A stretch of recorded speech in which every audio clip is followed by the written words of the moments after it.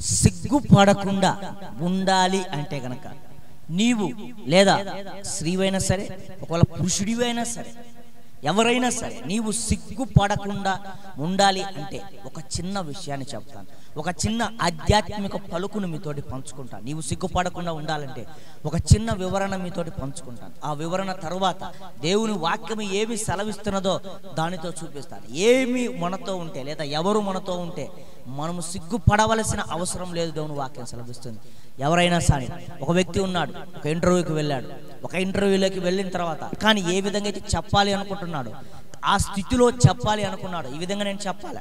ఈ విధంగా ఈ వచ్చే ఇంటర్వ్యూస్ని నేను ఖచ్చితంగా ఏం చేయాలంటే తప్పకుండా వారు చెప్పే ప్రతి చేసే ప్రతి ప్రశ్నకు సమాధానం చెప్పాలా? ఖచ్చితంగా నేను ఫెయిల్ కాకూడదన్న ఆశతోటి వెళ్తాను. కానీ కొన్ని దినాలు దాన్ని పర్ఫామ్ చేయలేకపోతాడు అదేనే కాదు. ఒకవేళ పర్ఫామ్ చేయలేకపోతే విఫలమే పోతాడు. అక్కడ సిగ్గుపడే అవకాశం ఏర్పడుతుంది. కానీ అది లోక సంబంధమైన విషయం. కానీ అవగాహన కోసం ఉదాహరణ కోసం దీన్ని సంభవించవలసిన ఉంది. కనుక గమనించినట్లయితే నీవు సిగ్గుపడకుండా ఉండాలంటే ఏ విషయమునందైనా సరే నీవు సాతాను ఎదుట ఓడిపోయి సిగ్గుపడకుండా ఉండకూడదు అనుకుంటే గమనించాలి సుమ దేవుని వాక్యం అంటుంది.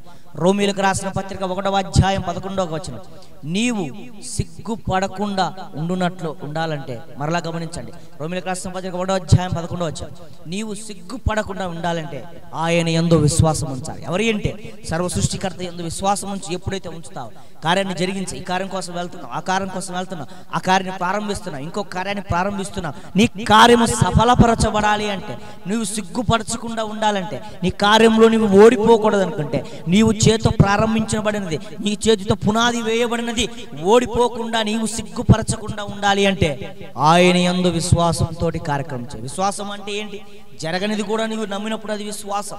కనుక ఇది ఎలా సంభవిస్తుందని తెలియనప్పుడు కూడా నీవు తెలుసుకుంటావు.